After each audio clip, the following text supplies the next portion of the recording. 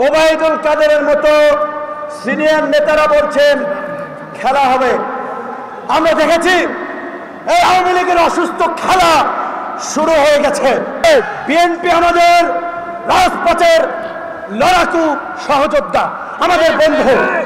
যারা আমাদের মতোই ফাঁসিবাদের পতনের জন্য যুগপথ আন্দোলনের জন্য প্রস্তুতি নিয়ে রাজপথে নামছে। কাজেই আমাদের সাথে বিএনপি কিংবা অন্য কোনো বিরোধী রাজনৈতিক দলের সাথে পার্থক্য নাই। আমরা এক অভিন্ন মৌলিক দাবিতে আজকে রাজপথে এসেছি। সেটি হচ্ছে বর্তমান প্রাচীবাদী সরকারকে বিদায় নিতে হবে। অন্তর্বর্তীকালীন সরকার গঠন করে আবার সুষ্ঠু নিরপেক্ষ নির্বাচন দিতে হবে। একই সাথে বিএনপি সহ বিরোধী দলের বন্ধুদেরকে আজকের সমাবেশ থেকে বলে দিতে চাই দিন তারিখ ঠিক করে ফাঁসিবাদের পতন ঘটানো যায় না। দিন তারিখ ঠিক করে স্বৈরাচারের পতন ঘটানো যায় না। কাজী নির্দিষ্ট দিন তারিখ নয় আজকে থেকেই আমরা অনির্দিষ্ট কালের জন্য ফাঁসিবাদ বিরোধী আন্দোলন শুরু করলাম। বিরোধী দল বিরোধী দল সারা দেশে সভা সমাবেশ করে শান্তিপূর্ণভাবে সভা সমাবেশ করে ঢাকায় যখন গণসমাবেশের ডাক দিয়েছে, হেফাজতের মতো তাদের উপরে আরেকটি নরকীয় তাণ্ডব চালাতে তাদেরকে সৌরাজ উত্তানে ঢুকিয়ে তাদের উপরে আরেকটি অত্যাচার নির্যাতন করার দূরভিসন্ধি নিয়ে সরকার আগাচ্ছে। আপনারা ইতিমধ্যেই পত্র পত্রিকা সংবাদ মারফতে সারা দেশের চিত্র জানেন। এই বর্তমান মাফিয়া সরকার আজকে বাংলাদেশে বেহেস্তের কথা বলে বাংলাদেশকে তারা দুজকে পরিণত করেছেন। উন্নয়নের কথা বলে লুটপাট করে শেয়ার বাজার ব্যাংক থেকে শুরু করে আজকে বাংলাদেশকে ফাঁকা করে ফেলেছেন। এতদিন উন্নয়নের মহাসড়কের কথা বলে আজকে তারা দুর্ভিক্ষের কথা বলছেন।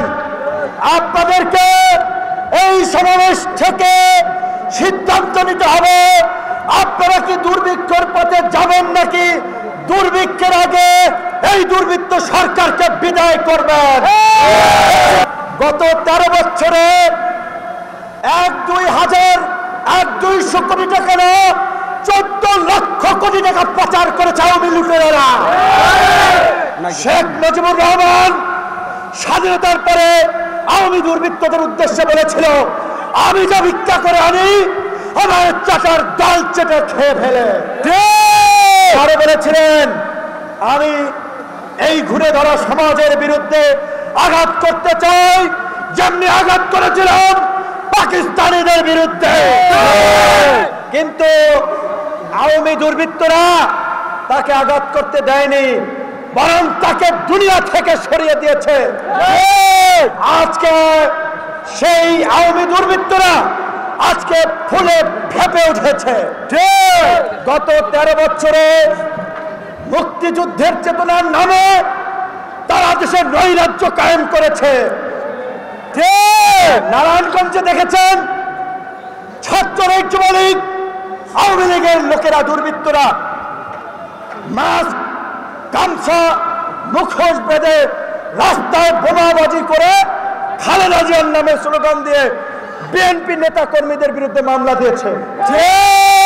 এবং সেই মামলায় গণ অধিকার পরিষদের নেতা কর্মীদেরকেও জড়িয়েছে ইতিমধ্যেই সারা দেশে সরকার পতনের যে গণজাগরণ শুরু হয়ে গেছে, সরকারের কাপড় চোপড় নষ্ট হয়ে গেছে।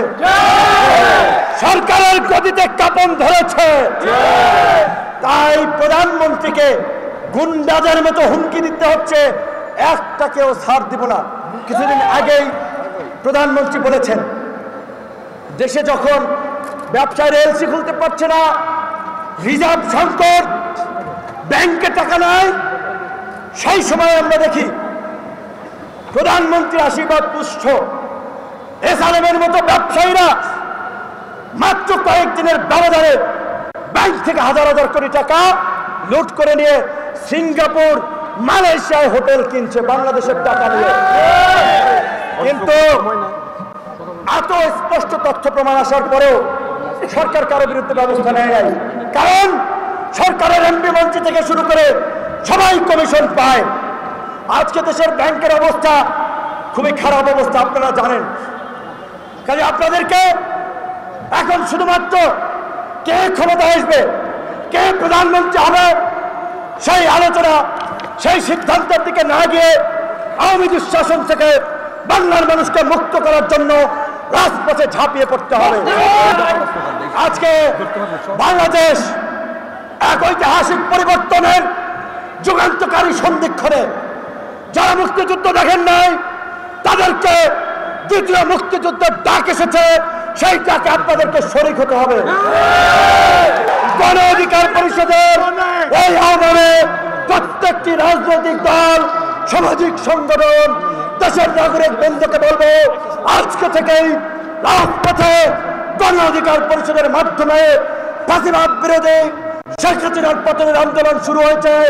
আপনারাও যার যার জায়গা থেকে নেমে যান। দশ ডিসেম্বর নয় ডিসেম্বর পাঁচ ডিসেম্বর নয় আজকে থেকেই শেখ হাসিনার পতনের দাবিতে আওয়ামী লীগের শাসন থেকে এই দেশকে মুক্ত করার জন্য আমাদের আন্দোলন সংগ্রাম শুরু হয়েছে। আপনারা সেই আন্দোলন সংগ্রামকে সফল করার জন্য প্রস্তুত আছেন? পতন না,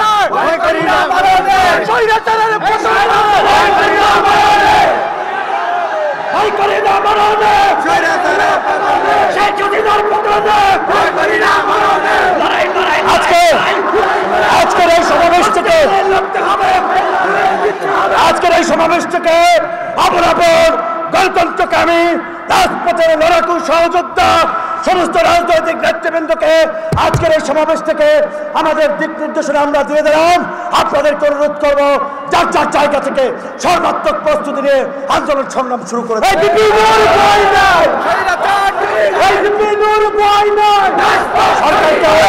আমরা আজকে সরকারকে আমরা বলে দিতে চাই এখন আপনাদের জন্য শান্তিপূর্ণ ক্ষমতা হস্তান্তরের পথ খোলা আছে।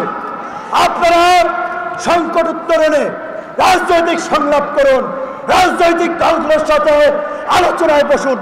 আপনারা যদি একঘেয়েমি করেন চোদ্দ এবং আঠারো সালের মতো চালাকি করেন আমাদের জীবন থাকতে আমরা সেটা সফল হতে দিব না।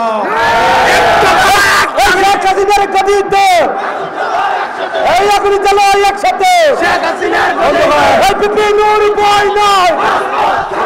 আপনাদেরকে একটা কথা বলব। আজকে আমাদের সমাবেশ ছিল প্রেস ক্লাবে। সেখানে আমরা জানতে পেরেছি ছাত্রলীগের সম্মেলন থেকে আমাদের মিছিলে হামলা করার জন্য তারা প্ল্যান নিয়েছে। গোয়েন্দা সংস্থাকে দিয়ে ককটেল বিস্ফোরণ ঘটিয়ে আমাদের নেতা কর্মীদেরকে মামলা দিয়ে ধরপাকড় করার তাদের অপচেষ্টা ছিল। যে কারণে আমরা প্রেস ক্লাবের পরিবর্তে আমরা আমাদের অফিসের সামনে এই শান্তিপূর্ণ সমাবেশ করেছি। সরকারকে বলতে চাই আপনারা যে সহিংসতার খেলা শুরু করেছেন যে অসুস্থতার খেলা শুরু করেছেন সেই খেলায় আপনাদের মুখোশ আমরা উন্মোচন করে দেব। তাই আপনাদেরকে বলব প্রত্যেকের হাতে ক্যামেরা আছে মোবাইল আছে। যেখানে যা কিছু ঘটে মোবাইলে ভিডিও ধারণ করেন।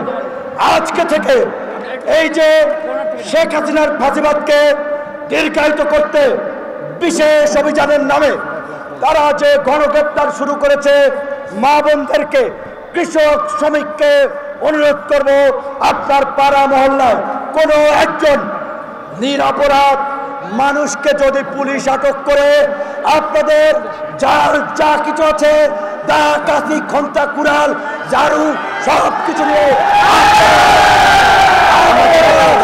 আপনারা গণ প্রতিরোধ করে তুলবেন। কারাগারে ধারণ ক্ষমতা আছে বিয়াল্লিশ হাজার, কিন্তু ইতিমধ্যেই এক লক্ষ সাত হাজার মানুষকে কারাগারে ঢুকিয়ে রেখেছে। ওরা আর কারাগারে ঢুকাতে পারবে না। আমাদের ঐক্যবদ্ধ থাকতে হবে। প্রয়োজনে থানা পুলিশ ঘেরাও করবেন। কিন্তু কথা একটাই, শান্তিপূর্ণভাবে নিরস্ত্র সারা বিশ্ববাসী আজকের বাংলাদেশের গণতন্ত্রকে পুনরুদ্ধার করার জন্য আমাদের সাথে আছে। তারা আমাদের দিকে তাকিয়ে, তারা চায় আমরা শান্তিপূর্ণ আন্দোলন সংগ্রাম করি। সর্বশেষ কথা বলে শেষ করব। সরকারের প্রতি আহ্বান জানিয়ে একঘেয়েমি করে রাজনৈতিক সংকটকে দীর্ঘায়িত করে দেশকে অনিবার্য সংঘাতের দিকে ঠেলে দিবেন না। যদি আপনারা সংঘাতের দিকে ঠেলে দেন তাহলে আপনারা জেনে রাখুন নগর পুরিলে দেবালয়ে রক্ষা হয় না। আপনাদেরও রক্ষা হবে না। এই জনতার অধিকার। আমাদের অধিকার! আমাদের